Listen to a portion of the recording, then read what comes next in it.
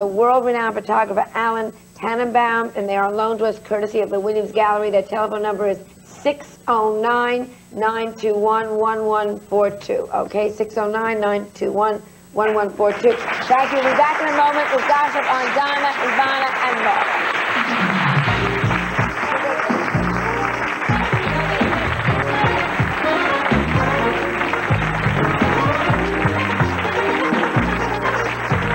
Sleep with you. From the moment they're born, the family bed is a good idea. We have too many parents in America who are literally holding the door when the kid will, I want to come out. And the kid is banging, and the parents, go to sleep, go to sleep. I want to come out, go to sleep. Birds don't do this. Chipmunks don't do this. We, our kids are born and we put them in a little crate isolated like it's a manufactured product of some kind. Let your kids sleep with you. Look at the thrilling response I got for this.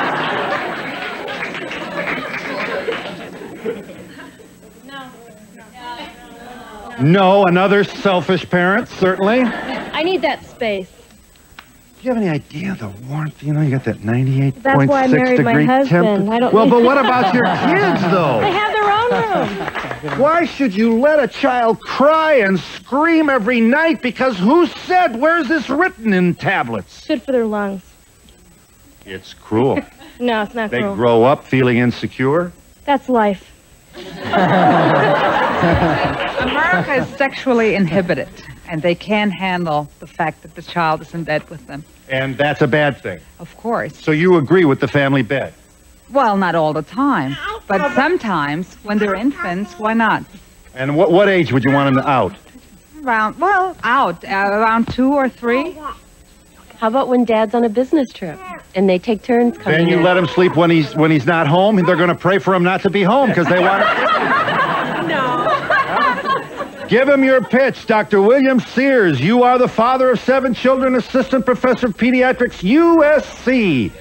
Go Trojans! Uh, you're here with uh, you're here with your highly regarded, uh, ever-loving wife Martha Sears and your two-year-old son Stephen. You are foursquare in favor of a family bed. Come on, doctor. This is this is never going to sell in America. Absolutely, Phil. We're the ones who need it in America. We got so much distance between our children. We in America need the family bed more than I think any other country.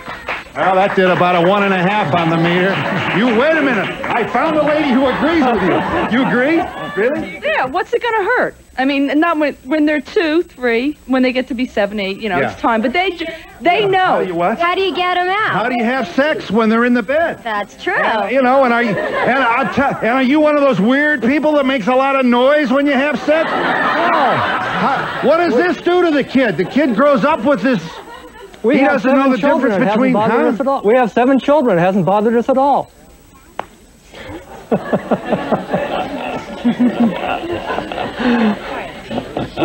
He has quiet sex. Yes, he has quiet sex. uh, because uh, you're, you're really serious. You've, you've really given your professional uh, credentials to this, and you are not.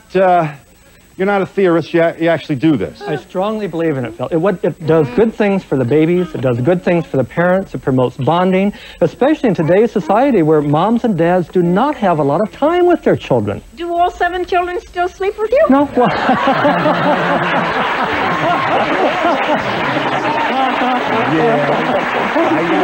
I, I, I wish two are in college, so they don't. Now you No. probably want to know several things.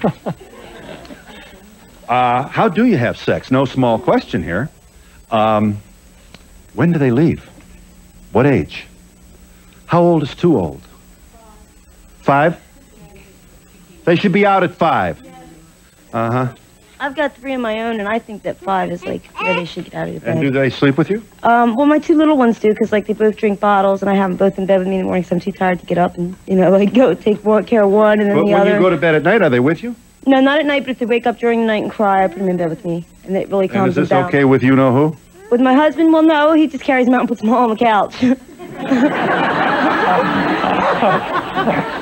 You know what? You know what else? If you have your kids in your bed sleeping with you, mothers sleep more soundly? Huh? Entirely. Have you tried sleeping with a two-year-old? They're upside down. They're crossways. You can't sleep at all. So? I'm curious to the layout of your your bedroom. Do you have a huge room with lots of beds, or do you have a We have a nice Bunk king, beds, we have a nice king size bed with just one baby in it who does not sleep between the mom and the dad. We don't believe in babies coming between the mom and the dad. Here's the picture. You did appear to be nursing there, is that so? Yes. Okay, so you nurse your baby, so that would be another practical consideration for taking them to bed with you. Okay, uh, interesting. Uh, strategies now. Uh, you and daddy are together, so to speak, physically, and the child then would be on either side. of- Usually on the other side of mother, since mother has the equipment for the uh, middle of the night diner. Uh, in the nursing. yes, that's okay during lactation. I assume when when they when they're when they move on and mature to the bottle and formula and other, uh, it doesn't matter then, huh? Well, no, it doesn't. It does make life a lot easier, though. You don't have to be getting up and down like a yo-yo all night, running into the other room, feeding them, putting them down, going back, and Yeah. doing it over three times. Well, guess what? Hayden, your beloved 13-year-old daughter is here, and she looks fine to us. Uh, you're in the eighth grade. You've survived. We're not going to worry about you, Hayden. Um, do you have memories of this experience as a child? Yeah, I do. Um, when my mom, when my mom asked me when I was about four years old, if I wanted to start sleeping on the floor next to their bed because my sister was going to be born in a couple months, I said no. I wanted to stay in the bed till the last minute. She did. And then when the baby was born, what happens to Hayden? I slept um, on the floor next to the bed, and I was just fine. Now we have stories out there of, you know, parents who, I mean, literally hold, put, throw their body against the door. You've got to go to sleep. I can't go to sleep. You've got to go to sleep. Four o'clock in the morning, a kid is under the bed, on top of the dresser drawers, in the bathroom. Think about the trauma of the child. What? A couple of things. I've got two kids. I have a queen size bed in my new big house in New England because in New England you don't get many houses with large master bedrooms. We can't fit a king size bed in our house. We couldn't fit one in our other house. But I've always kept a rocking chair in my child's room and go in and cuddle with the baby in his room, make sure that he knows that this is his safe place to be for the rest of his life. This is his room. Well, that's a pretty conscientious thing to do. Now, this gets in the way of your sleep, and what good are you then as a mother the next day if you've had this kind of fitful night? It's the deal. It's what you buy when you get pregnant. Br- bring the rocking chair into your room. Um, let me see. Uh, Mary? You are the person to whom I wish to speak next. Okay. You're the mother of two. Your Yes. babies are, your young babies are ages two and five. Yes. You've been married eight years. You just don't buy this, do you? We have our two-year-old is currently in our bed because of a series of situations this summer. We took vacations. She's ended up there because we disrupted her schedule and routine so much that uh, she we it was just easier. Out of desperation, we brought her into our bed to get her to sleep because Different environment. Uh, she's a Oh. little rattled, etc. Yeah, so you're guests, accommodating her here. yes. But you don't think that this is necessarily the ideal that the, no, that the Sears do. it's very difficult for us. Very difficult to get a good night's sleep. To have that time alone at night. There's not a lot of time during the day that my husband and I just have each other. When we have when you have little kids in the house, it can be it's hard to get a little time to talk to your spouse. And we've always had that time before after bedtime, after we put the kids to bed, to just be the two of us. Do you understand When- their commitment to this? Um, you know, if you look at the animal world, I'll tell you what, uh, those squirrels are with mommy a long time, and so are the chipmunks and the groundhogs and m- the mammalian world on the nipple until they go to medical school, these kids. uh, for a long time, throughout much of their maturation. And here we come, the Yeah. king of the beasts, as we would, uh, dis- some men would describe the human species. And we do seem to go out of our way to separate our young at a time when they're least capable of understanding it. Well, I, I don't know if it's called separation as much as encouraging good sleep habits. And my kids did have good sleep habits. And or my son at five has wonderful sleep habits. My two-year-old, of course, we upset the apple cart by carting her around to grandma and grandpa's house, and then we go to the other grandma and grandpa's house, and then we take a vacation, and then we have house guests, and let's really mess things up here with all these distractions. And I think it's important for them to be able to go to sleep on their own, and they had been able to. So I know it's a, a reality. I've known real good parents who do not abuse their children, who've actually locked the kid in the crib, put a top on the oh. crib. Bad. Well, bad. I mean, what are you going to do? The child gets out every night. There are options. What? There are options. Y- Your kid what? My child slept at the top of the stairs on the floor for three months because he didn't want to move into a big bed and he didn't want to stay in the crib. And that but was he, okay with you? Well, if that's what he wants to do, yes. I made him up a little bed on the floor. If you want to sleep on the floor, fine, do your thing. But he How never. do you know he's not going to leave in the middle of the night and get a plane to Dallas? How old was he when he was at the? You know, see, that would terrify most parents. Two, two and a half. and a You weren't afraid he's going to roll down the stairs? No, I, I put a, put a little blockade up to protect him So, in other words, let him have certain amount of. uh, of independence, but and choice. But he never had an option of coming into my bed. If that You would not allow. probably telling No. you he wanted Four to. square, Right. tough love. Not an option. You're drawing the line. Right. Boy, oh boy, he's got Mussolini for a mother. Just consistent. Are you there, caller? I'm glad you waited. Hi. Yes, I am. I could no more have my children sleep with me every single night. Uh, I'd have to be with them every single day uh, for them to get used to the fact that I'm not always going to be there for them. And I think if you start them off at an early age, you know, at two years old, they're on their own. They know the difference between mommy's bed and their own bed. a problem.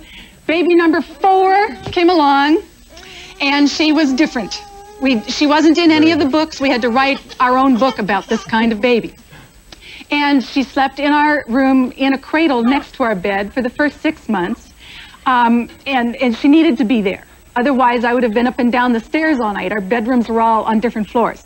Um, at the age of six months, she was climbing out of the cradle, so we had to put her in the big crib. So we moved her over against the wall in our bedroom. She had to stay in the bedroom.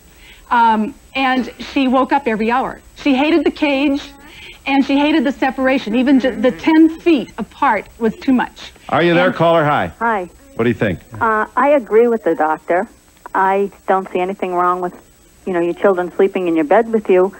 I did it against my my doctor's orders. You know, the pediatrician advised me not to, and my son is now eight, and occasionally he still comes into my bed, and I allow it. And I just don't see anything wrong with it. Lawrence Balter, PhD, joins us. You are a child psychologist, and I'll give you a moment to make your point. Uh, you will forgive this interruption. You should know that uh, this this uh, PhD agrees with your pediatrician. Uh, in fact, my guess is that most of the members of the professional pediatric community vote no on the family bed, and we'll be back in just a moment.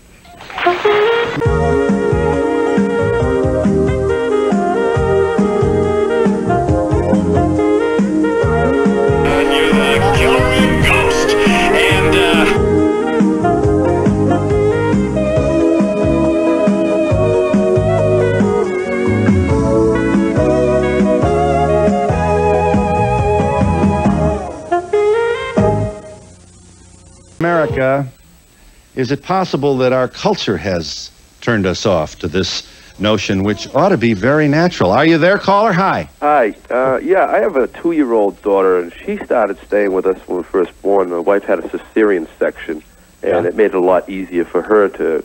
Plus, I work nights. Well, I set changed, and now I'm on days.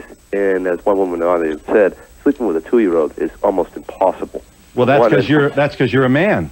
Well, no, not necessarily being a man, but you try with a two-year-old going from one end of the bed all night long. Right. So when you're home alone, then you're you, is it a daughter? Yes. Your daughter, accustomed as she is to sleeping with mommy, then assumes she's going to be able to sleep with daddy, and she keeps you up all night. Uh, pretty much, yeah. I assume there might be some anxiety that you'll roll over and you know Well, maybe I have smother I, the kid. I have the same anxiety. I'm afraid I don't get a good night's sleep because I'm going to roll over. That's what I mean. Yeah.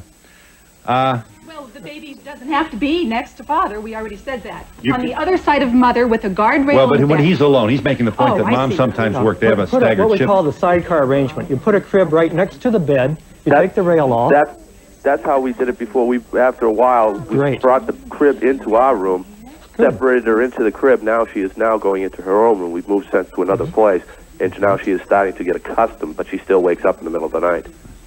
Um, please give your attention to Michelle Mason. You're here from San Francisco, where you are a parenting educator. uh, at Natural Resources. You probably, you know, encourage breastfeeding and all Absolutely. all good things, right? Um, in fact, uh, and how old is Hannah? Hannah's 18 months. 18 months. Uh-huh. Hi, Hannah.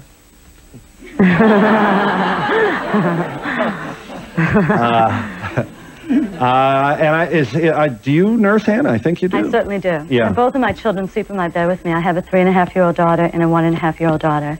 And I meet with about 15 to 20 women every week in a postpartum class that I facilitate. Uh-huh. And sleeping is the number one issue in parenting. And a lot of Really? yes, and a it's lot where of the wars begin, isn't it? That's right. And a lot of women want to naturally please their baby and instinctually follow what they should do. And it's pediatricians that are telling us that we shouldn't do that. Okay, love. That's all right. That's okay. That's okay. Here you go. Uh, yes, I'm not Big Bird, but I'll have so to we have to start now. really listening. Uh, she has given me your driver's license, so Thank hang you. on. to that. Your pediatrician, your pediatrician told you you shouldn't sleep with your No, baby. pediatrician, this is what I hear on a weekly basis, is that pediatricians will tell their, the mothers not to sleep with their child and to let the child cry themselves to sleep. And it's really bad information, bad. and I really disagree with it in a big way. Yeah, uh-huh. And uh, without indicting all pediatricians, Yes. it was the pediatric community that took mother babies off the nipple of uh, the mother's Right, breast That's right, milk. it started a long time ago. Uh, so we have here a uh, mostly male, or certainly it's changing now, but we Uh-huh. heretofore mostly male professional community that seemed very hurried in the effort to separate mother and child. That's right. And you see this as an extension of that pattern. That's right. It's the most natural way of mothering, and I think as mothers that we really have to follow our instincts. It's never been a problem for me. I've never sleeping has never been an issue. It's just never been an issue. Are you So- there, caller? Hi. Yes, I am. Um, my husband went to Desert Storm when our daughter was three months old, Right. and when he left, she she did the, the there was no sleeping problems. She was fine. When he came back, terrible sleeping problems. She wakes up screaming in the middle of the night and will not go back to sleep. And she used to scream 40, 45 minutes if we tried to just sit there and let her scream, and I couldn't stand it anymore. I ended up sleeping on the living room floor with her for a while, and now she goes to bed in her crib, but she wakes up in the middle of the night, will not go back to sleep, and she ends up in the bed with us. And Right. it's driving us crazy because we, you know, we need the time to get to, you know, reacquainted. We want time to talk, you know, and it's it's driving us completely crazy. Right. We don't know what to do hmm. about it. Now, when your husband went to Desert Storm, did your child sleep with you? No, huh? Oh. She slept in the crib fine. I see. So dad comes back into the house, and now we've got these fitful nights, huh? Yep, exactly. And it's driving us crazy. And he's scheduled to go on deployment again in December. Yeah. And it's just, it's never enough time for just us alone. You have heard this before, Michelle Mason. Yes, I do. I well, it's not going to make you feel better, but apparently you're involved in a central common uh, conflict of uh, early parenthood. And she should what? She should just listen to her baby and respond to her baby. And clearly, our children in the first three to four years of life go through lots of different changes. And if we respond to them, What? What about her husband? What What, about- about her husband? Got husband home for four months. What? He doesn't count anymore. Than, no, but it's a te- it's a very temporary thing. You would be surprised So how it's a marriage sometimes. You.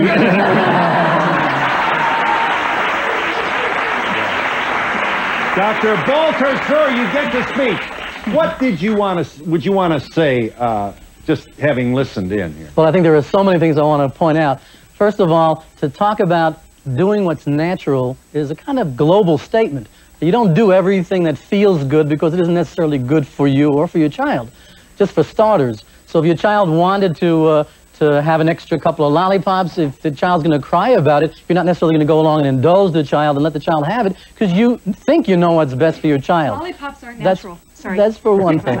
But we know that instinct doesn't really guide parents properly, that they really need to learn how to be good parents. That's boundaries. instinct That's isn't. boundary setting he's talking about. We're not talking about boundary setting. Okay, let That's me not let me the issue. let me suggest a few things. Sometimes what what I hear when I'm listening to this is that people have confronted a difficult situation, found a short-term solution for it, and have turned it into a philosophy of child rearing. I think the idea most parents have in mind is to help their kids become more independent and to be more self-reliant. But, uh, you know, I don't know if you But how do you get independent? Dependency, Exhibit com- A here, dependency people. comes from independence. Well, Well, that's Exhibit A is not a really a good example yeah, let's- because she's a very delightful and intelligent and attractive young woman, and I probably would be glad to have her as my own daughter. But if I dragged out old Uncle Joe, who smoked 14 packs of cigarettes a day and, and, and drank, you know, and he lived to 95, that's not an example of something that's good or, or recommended. Uh, okay, we accept your point that this is an anecdote and not necessarily proof. Thank you. Do I understand you to believe that it wouldn't? There are cultures, as you know, that do this. Yeah, but not Human culture. Yes, of course, but not this. There are many other things in those cultures that are also very different But you, you see culture. this as dissonant with our society. Yes, I do. Because why? Well, let me just make one Well, point. For a number of things.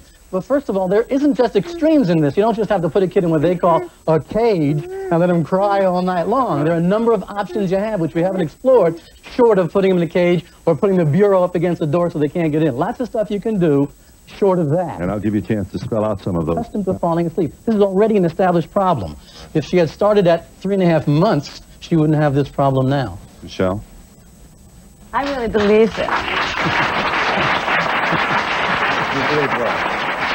My feelings are, again, I can't emphasize enough that we just need to listen to our children. It's a very short time. It's a, I mean, think of Yeah. how fast the time goes by with their little babies and their little ones. I'll tell you what. I'm sorry. You wanted to say.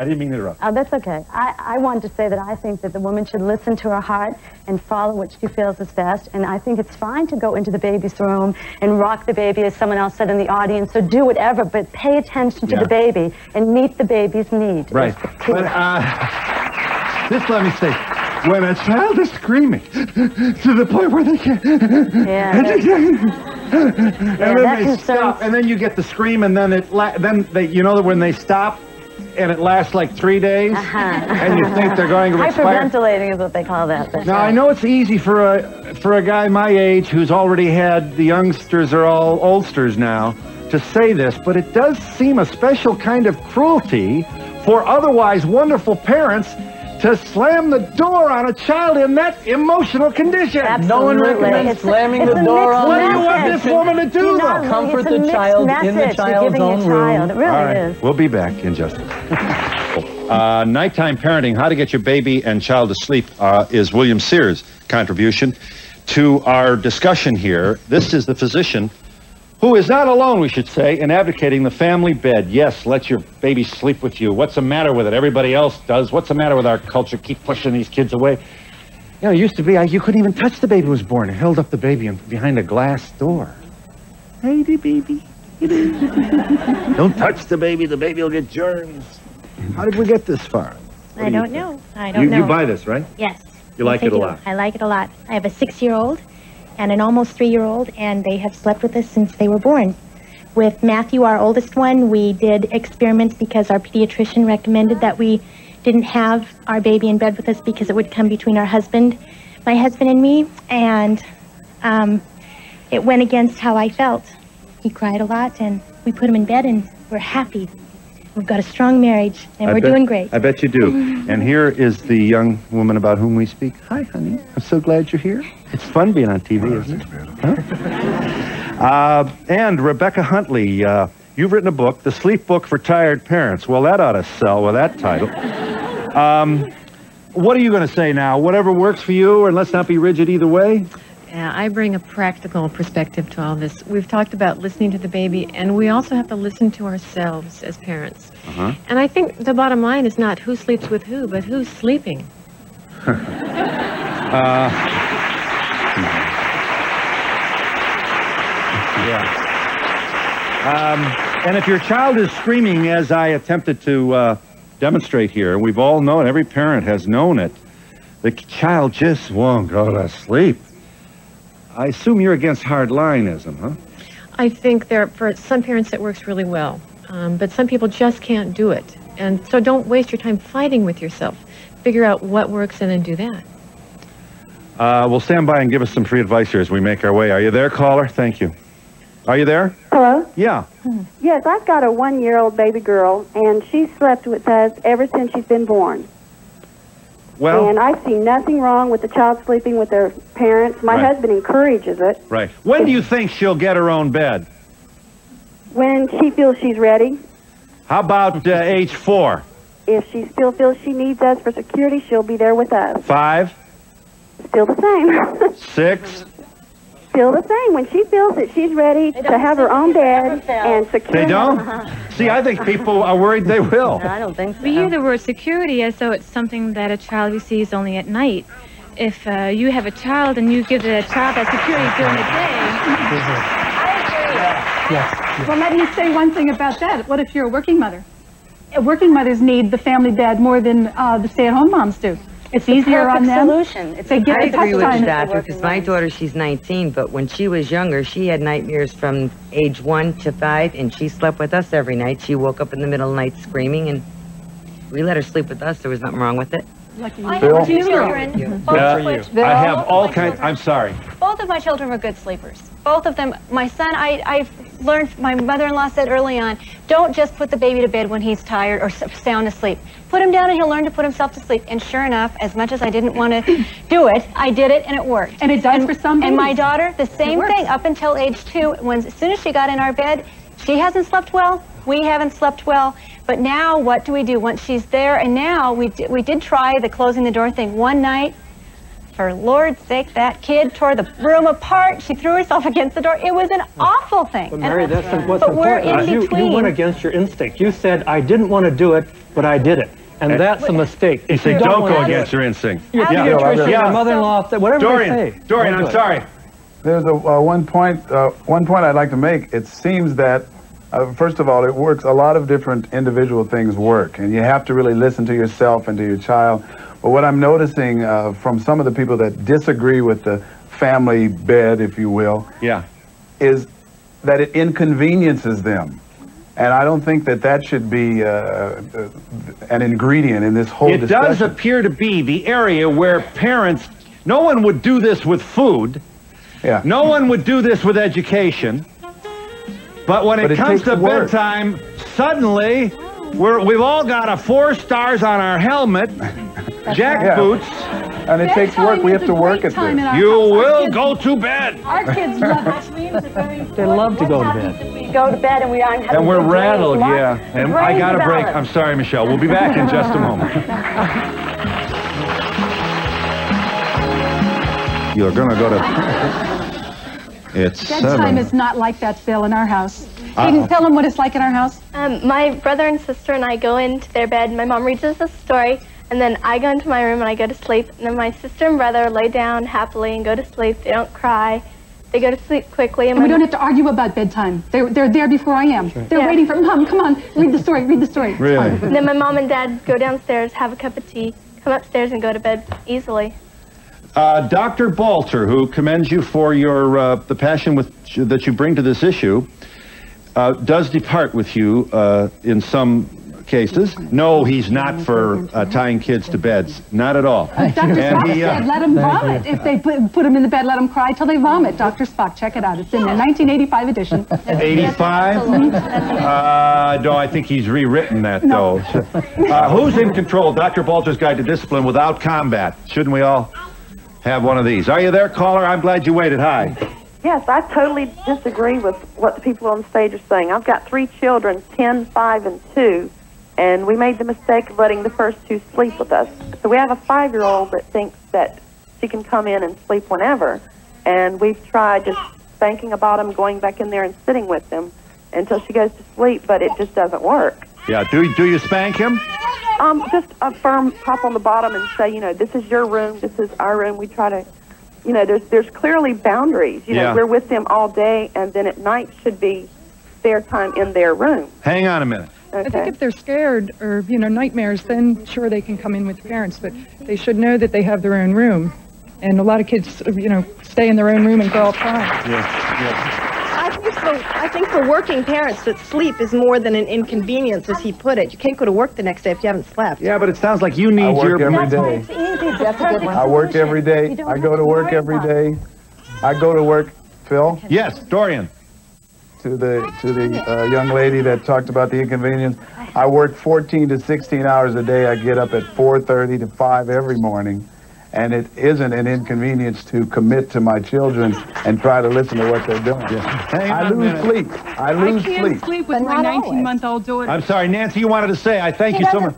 He doesn't always lose sleep. I mean, there are nights when they're teething or there are nights that they have nightmares, like any other child. But Yeah. they sleep really very well. My daughter, who is four, sleeps through the night, and she's chosen to, to leave the room for Right. most of the time now. Hang on for the audience here. I can't sleep with my daughter. Does that make me a bad mother? Yes, I it sleep the does. night. Yes. You should feel guilty. Sit down. yeah. Yes. I'm a school supervisor, and I get your kids when you're finished with them, and they don't know they don't know any limits. They have to learn limits. Our they have to children learn have- That's Spoken like I'll tell you. You show me a school supervisor, and I'll show you somebody who doesn't like parents. There are a lot of ways for, I for think children. it's comforting to know that there are a lot of children that don't have security problems, and there are a host of well-adjusted adults and children who never slept with their parents in their bed. that it's working for you, but I just can't get over the sex thing. I can't. What about the intimacy? I mean, the you know the. Try your living room in front of the fireplace. Try the laundry room. Yeah. It's just. Yeah, yeah. I think. Yeah, yeah. I think you should just cut the cord and give the kids their independence, regardless. They'll get over it. Hayden, at what age? What age did you like stop sleeping with your parents? What age? Yeah. Uh, you mean Dorian? Uh, uh, or oh, Hayden? Yeah. Whatever When did you finally move out of the family bed, Hayden? Me? Yeah. Um, she, she stopped at, at four when the new baby, four and a half when the new baby came, and then we went to Australia for two weeks, and we gave her the choice. When she was five, did she want to come with us or stay? She chose to stay. That's independence. Yes. Okay, I just wanted to ask to the parents out there, aren't you afraid that you're going to create more problems for when they get older? Because they're going to figure they can get their own way now. You create a healthy sleep attitude. When they're young, they're going to sleep better when they're old. Yeah. Yeah, I'd like to add this, Phil. Please, we're running out of time. Okay, I've there- got so much wisdom about it. Go ahead, Nancy. Okay, it's really a relatively short time that they're actually in bed with you, but the message that you give them, the fact that you're there for them 100% day or night, lasts a lifetime. That's Yes. I just want to say uh, two or three years and, and under, that's fine. But I mean, once they get out of diapers and some children wet the bed, talk about taking the romance out of the bedroom. I think, What an I think any, chil- any parents that have small children, I think they should start off from day one, letting the child stay in his crib. For as long as in the crib. In the In the crib. In the crib. You know, a better thing is just leave them at the hospital and get on with your life. Yeah, yeah. That's more convenient after all, Phil. Much more And then drop them off at the school think it's their very important that parents here not be made to feel guilty if they don't want their kids in the bed with them. and vice versa. And Vice versa. Yes, ma'am. I have four sons, and if they feel insecure during the night, they take their pillow and they blanket and they come into the floor because there's not. Of your room. And, and you're not disciplining them for that. No. You let them do it. Well, that's a nice intermediate approach. Yes. I was gonna ask this guy. You think having like strict parents is a deterrent for kids to go sleep with their parents? I think you can be very nice and you can be democratic with them, but they don't have to sleep in your bed for that. This is a very modern issue. When you look at it from a historical point of view, actually people slept together Until- as families. yeah, until the whole family because they didn't have an extra room. This is our new modern society. Let's get rid of these kids. We'll be back in a moment. Chemical propellants.